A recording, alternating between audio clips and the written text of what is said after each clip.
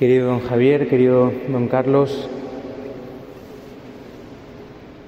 queridos hermanos de esta parroquia de San Juan Bautista de Chiva, creo que nunca había estado en esta iglesia, pero sí que conocí a Chiva por algunos jóvenes que compartimos algunos campamentos hace unos cuantos años y también por el anterior párroco. Estamos en el último día de la novena a la Virgen del Castillo. Han llegado los valientes. A veces cuando vemos una novena se nos puede hacer un poco cuesta arriba, porque nueve días son muchos días, ¿eh? nueve días pasan muchas cosas. Pero mirad, más que yo espero que más que un compromiso o que una obligación o que una carga o que una tradición simplemente hayáis podido vivir esta novena como un regalo de Dios. Como un regalo de Dios que los hace a través de María, que es, dice la Iglesia, la medianera de todas las gracias porque a través de ella nos ha llegado el Salvador que es Jesucristo. Y si no lo has podido vivir así, ya has pasado la novena, se ha predicado sobre María como la estrella de la nueva evangelización, como salud de los enfermos, como la madre de los niños, como la joven con el eternamente joven Jesucristo, como la madre de la Iglesia, como la madre y el modelo de las vocaciones, oyente de la palabra, mujer eucarística, A lo mejor has ido escuchando estas cosas, pero estabas pensando en si era hora de cenar o no. Estabas pensando en si hacía más calor o menos, en a ver si llueve o no llueve. A lo mejor estabas pensando en lo que te había dicho tu amiga o tu vecina, en el problema de tu hijo, en la enfermedad de tu cuñada o en cualquier otra cosa. A lo mejor puede ser que hayas podido escuchar estos días la predicación, que hayas podido entrar en la oración de los salmos, en la proclamación de los evangelios, pero que solo se te hayan quedado algunas ideas, pues eso, ay mira, esto que ha dicho me ha gustado, oye, qué bien ha hablado este, oye, el cura de hoy se ha pasado un poco, ¿eh? Lo ha hecho un poco largo, y que nos hayamos quedado en cosas superficiales, pero mirad, una de las cosas que hace María es que guarda la palabra en su corazón. Yo te invito a que en esta tarde le pidas al Señor, por intercesión de la Virgen, que puedas guardar su palabra en tu corazón. Que realmente esta tarde, este momento de oración en comunidad, en la parroquia, con los pastores a la cabeza en representación de Jesucristo, ante la imagen de la Virgen Santísima, sea un momento de encuentro personal con Él, donde primero puedas descansar tu corazón y todas las cosas y las cargas y los pesos y las heridas y las cicatrices que llevas del día a día, donde segundo puedas abrir tu oído, tu mente y tu corazón a lo que el Señor quiere decirte a través de esta palabra que se ha proclamado y puedas dejarte a lo mejor animar en el camino de la fe. Puede ser que alguien esté desanimado o puedas dejarte consolar. A lo mejor alguien viene herido o entristecido. Puedas dejarte tal vez corregir. A lo mejor hay algo en tu vida que necesita ser corregido, reconducido y que necesita que tú te conviertas, que cambies el rumbo de tu camino. Pues bien, todo esto yo le pido al Espíritu Santo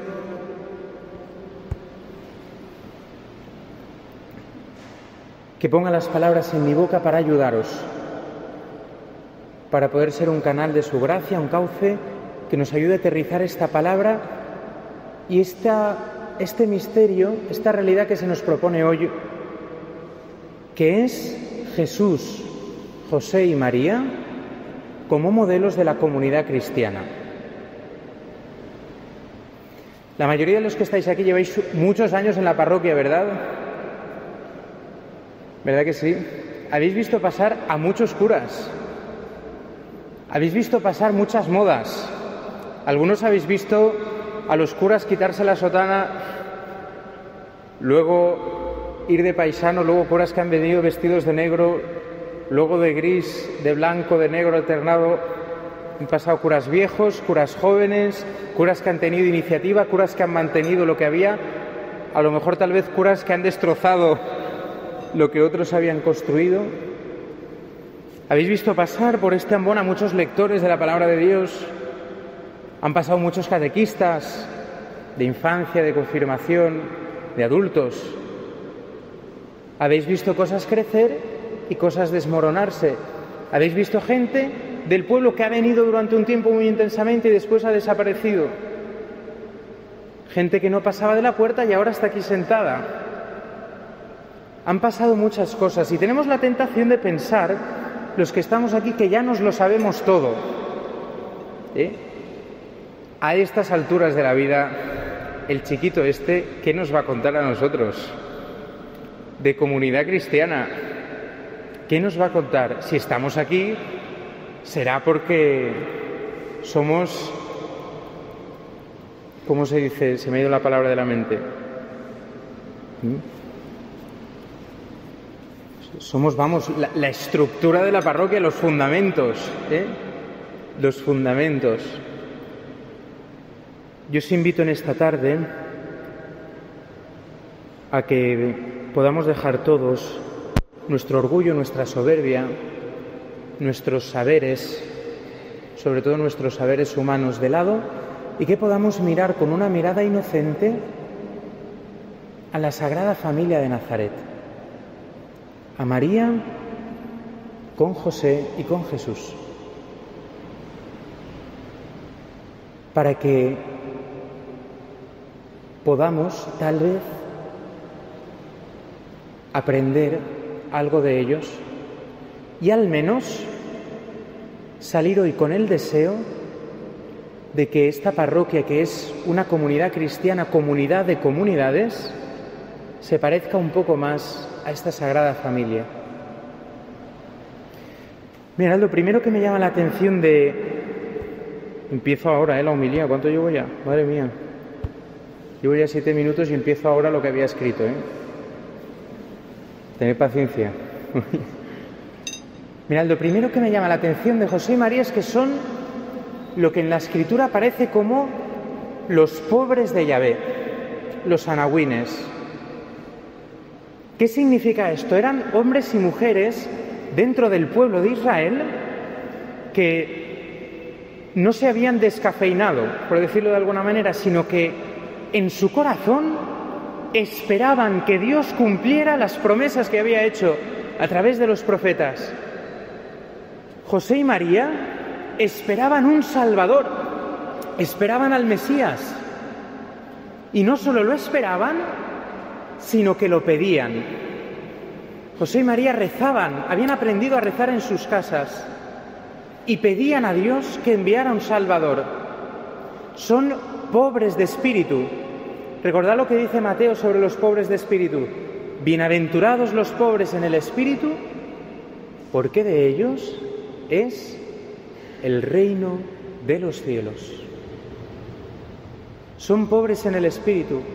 Saben que la salvación no viene de ellos y viven una relación de confianza con Dios, porque saben que a pesar de no ver signos, Dios cumplirá su promesa. Esto es lo primero.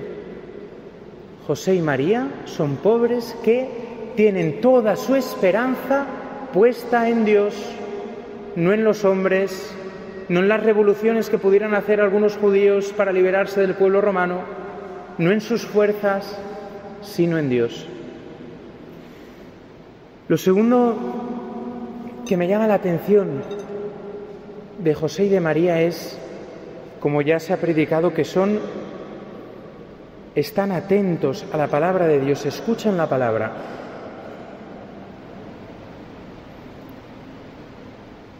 y la guardan en el corazón. María, en actitud orante, recibe la visita del ángel Gabriel. Alégrate, llena de gracia, el Señor está contigo. Y esta palabra que viene de un ángel y por lo tanto viene de parte de Dios, María la acoge, la guarda en su corazón y responde a ella con una docilidad total. También José recibe una palabra del ángel en sueños. José, no temas tomar a María, tu mujer, como esposa, porque lo que hay en sus entrañas viene de Dios es obra del Espíritu Santo. Los dos escuchan la palabra, pero no solo la escuchan, sino que obedecen a esta palabra. Dirá Jesús también, cuando le grite una mujer, Bienaventurado el vientre que te llevó y los pechos que te criaron, que traducido a la actualidad sería, Viva la madre que te parió, básicamente.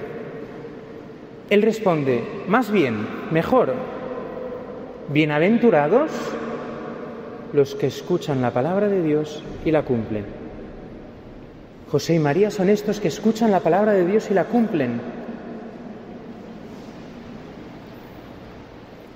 La obedecen. Y al obedecerla tiene una consecuencia y es que esta palabra da un fruto. Y es la vida de Cristo en, la tierra. Que el Hijo de Dios se encarna y que el Hijo de Dios tiene una familia en la que crecer. Dan a luz a Jesús y lo custodian. Hacían falta María para dar la luz y José para custodiarlo, porque José será otra vez avisado en sueños, toma a tu hijo y a tu mujer y vete a la tierra de Egipto, porque Herodes busca al niño para matarlo. A veces es una palabra difícil, a veces es una palabra pero José y María se fían más de la palabra que reciben de Dios que de sus propias certezas, que de sus propias fuerzas y capacidades, que de sus propios planes de matrimonio, de paternidad, de maternidad, de relaciones, de lugar donde vivir, de lugar donde nacer, etcétera, etcétera, etcétera. Y al fiarse, no se quedan nunca donde están. María sale al nada más recibe la palabra de Jesús, del ángel, sale a visitar a Isabel. José cuando recibe el ángel dice que se levantó deprisa y fue a por su mujer. Después los dos se ponen en camino a Belén. Después de Belén van a volver a Egipto, de Egipto van a volver a Nazaret. Después entre medias peregrinan al templo para presentar a Jesús, luego peregrinarán otra vez a Jerusalén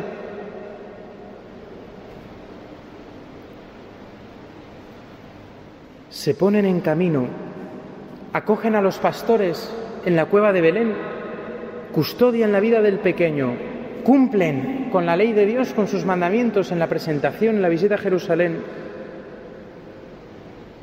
Y aunque no comprenden todo, guardan en el corazón.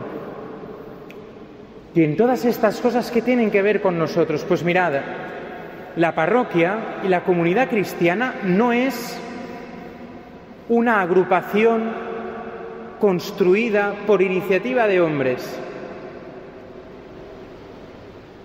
La comunidad cristiana es una obra de Dios y forma el cuerpo de Cristo, hace presente a la iglesia de Cristo allí donde vive. Por tanto, una comunidad cristiana no se construye mejor o peor por mis preferencias, por mi manera de ser, porque a mí me gustan más las cosas así, porque yo soy de esta tendencia, porque yo tengo esta ideología política o esta otra, sino que tiene un modelo que es la Sagrada Familia de Nazaret. Mirad, hay muchas enfermedades de las comunidades cristianas, ¿verdad? Yo la primera que compartiría, primero había pensado el chismorreo y el juicio, pero hay una cosa anterior a esa. Según mi opinión, a mi criterio, ¿sabéis cuál es? La falta de oración. No sé aquí, ¿eh? pero en general rezamos poco. No recuerdo quién es el teólogo que dijo, la Iglesia del siglo XXI o será mística o no será. Y no basta solo con rezar solos, necesitamos rezar en comunidad. Cristo ha dicho, donde dos o más se reúnen en mi nombre, allí estoy yo en medio de ellos. Escuchamos en los hechos de los apóstoles que se reunían todos los días para la oración de la tarde, como estáis haciendo en esta novena, y subían al templo. Y al atardecer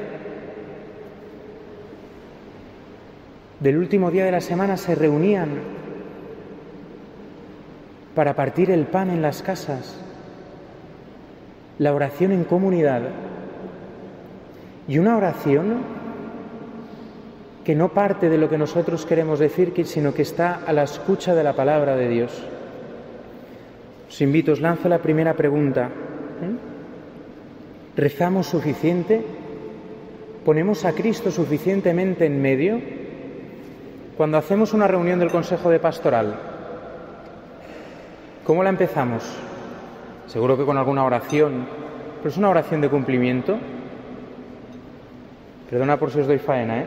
Pero una vez nos hemos planteado comenzar un consejo de pastoral con media hora de adoración delante del Santísimo para preguntarle a Él qué quiere que hagamos en la parroquia.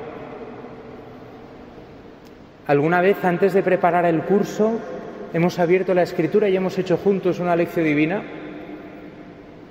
No sé si tenéis cofradías aquí en la parroquia, las personas que venís a limpiar y mantenéis el templo con la belleza y la dignidad, los distintos grupos de la parroquia que hay, las catequistas cuando preparáis una catequesis, el grupo de cáritas, los visitadores de enfermos, cuando vamos a hacer la misión, cuando vamos a tomar decisiones, cuando vamos a cambiar estructuras,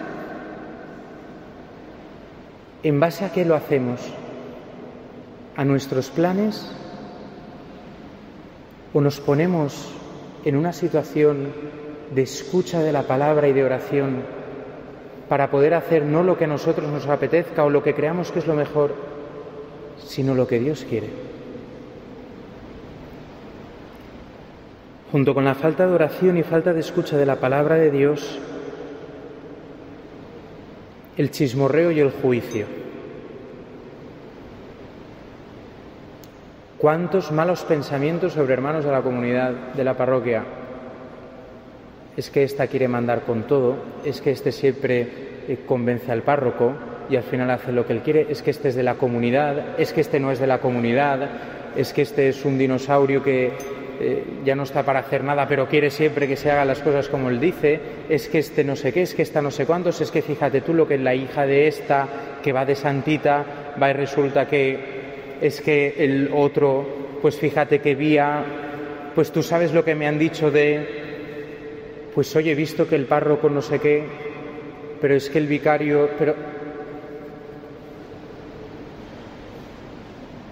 Juzgamos, ¿verdad? y hablamos. Hay una palabra muy fuerte de Jesús frente a esto. ¿Sabéis qué dice en el Nuevo Testamento el apóstol San Pablo?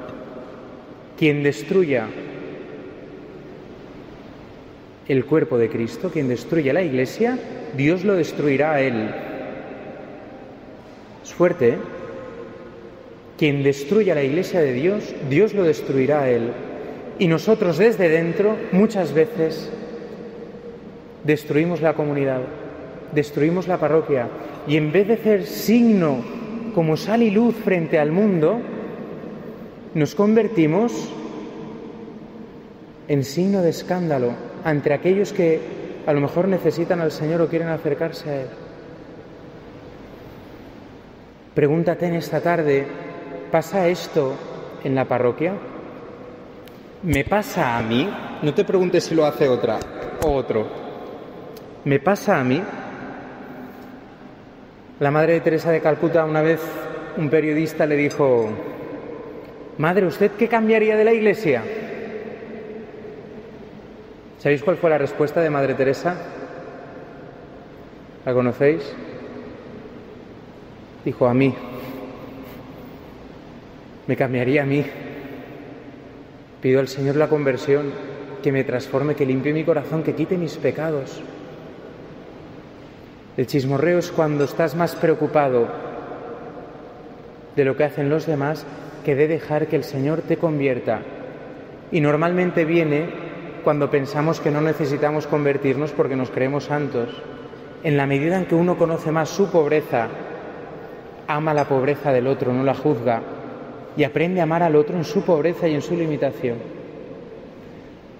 ¿Tú crees que Jesús, cuando se enteró que María estaba embarazada, te lo ves desaguándose con una cerveza con sus amigos, diciendo, la que me ha liado?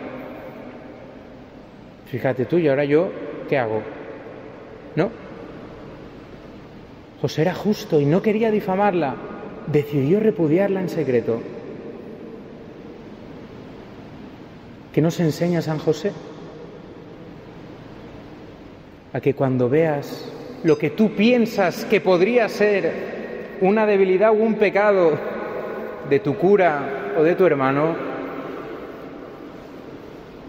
que reces por él, que lo pongas delante del Señor, que lo ames y que le preguntes al Señor qué quieres que haga.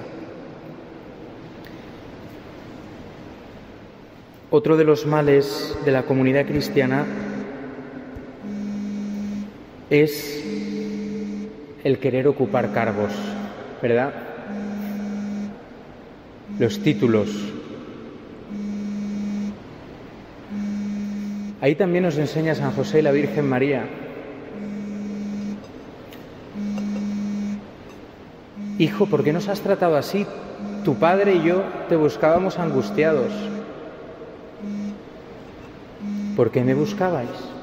¿No sabíais que debía estar en la casa de mi padre? San José, ¿eh? María le está dando el título de tu padre y yo, y va Jesús y responde, estoy en la casa de mi padre.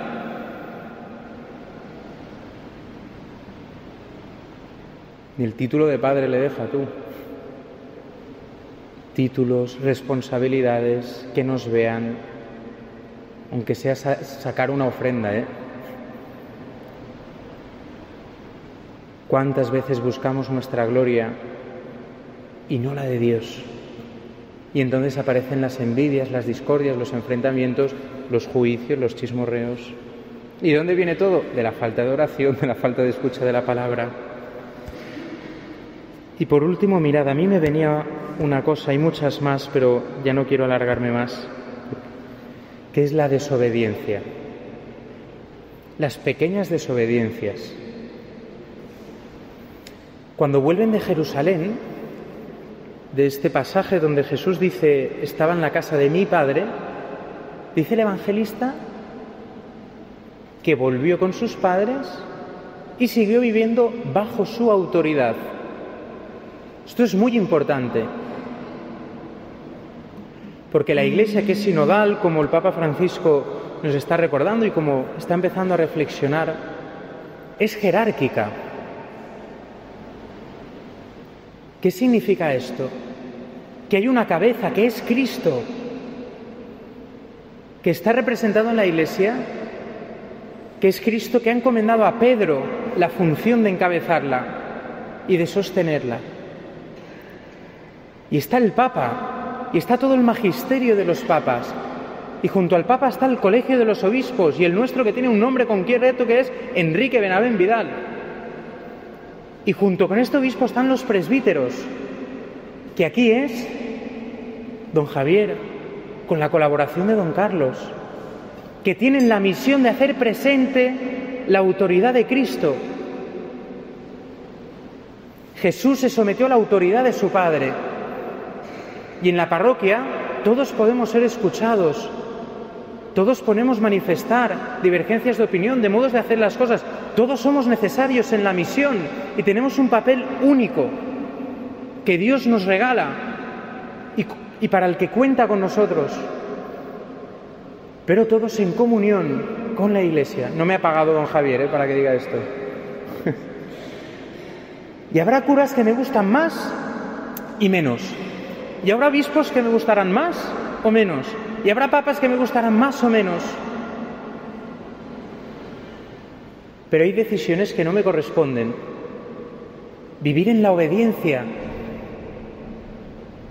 en la obediencia a Dios y en la obediencia a sus representantes. Está claro que si hay una situación de abuso de poder religioso de cualquier tipo, ahí la persona pierde eh, su, su, misión, digamos, eh, como representante de Cristo. Pero cuando no, eh, dice San Agustín,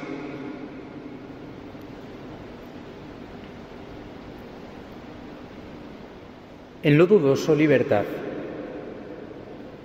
en lo importante unidad y en todo libertad y en todo caridad. En lo dudoso libertad, en lo importante unidad y en todo caridad. Unidos en obediencia a la Iglesia. Y en obediencia al párroco, en obediencia al obispo al papa significa en obediencia a lo que la Iglesia nos enseña en todos los ámbitos de la vida. En la forma de rezar, en la forma de vivir la liturgia, en la forma de vivir el matrimonio, en la forma de vivir la sexualidad, en la forma de vivir mi relación con el dinero y con el trabajo, en la forma de educar a los hijos y a los nietos. Pues bien, pidamos en esta tarde, por intercesión de la Sagrada Familia de Nazaret, que podamos cumplir nuestra misión como comunidad cristiana. Dentro de esta comunidad de San Juan Bautista hay comunidades también, distintos grupos de oración, de forma de vivir la fe, etcétera. Dios quiere que vivamos esta misión de la Sagrada Familia en cada pequeña comunidad, en cada grupo, que lo vivamos a nivel de toda la parroquia, que lo vivamos a nivel de toda la diócesis y que lo vivamos a nivel de la Iglesia Universal. Padre, ha pedido Jesús en la última cena, que como tú y yo, ellos sean uno para que el mundo crea que tú me has enviado. Pidamos hoy por intercesión de la Virgen que supo reunir a todos los apóstoles en Pentecostés, como escuchábamos antes, que nos reúna a nosotros también en un solo cuerpo y que por la acción del Espíritu Santo que ella acogió y que ella después se transformó en canal, podamos ser renovados como parroquia, como comunidad y como personas, como hijos amados de Dios. Ave María Purísima.